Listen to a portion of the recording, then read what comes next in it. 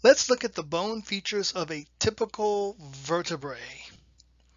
This large flat portion of the vertebra, which actually makes up most of the bulk of the vertebra, is called the body.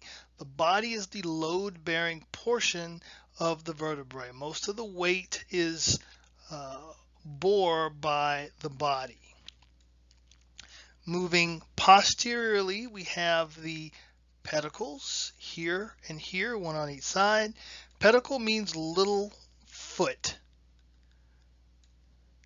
And I guess you could say they look like little feet. Notice that they contain facets, and these facets articulate with the facets of the uh, vertebra that is superior to this one. These projections are called transverse processes. A process is nothing but a, but a projection. So these are the transverse processes here. And this is the spinous process here.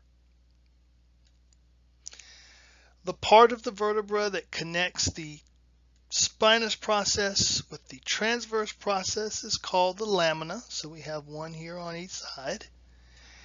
And the pedicles plus the lamina form this arch, which is appropriately called the vertebral arch. Lastly, any hole in the bone is called a foramen, and this one specifically is referred to as the vertebral foramen. It allows for transmission of the spinal cord through the vertebra.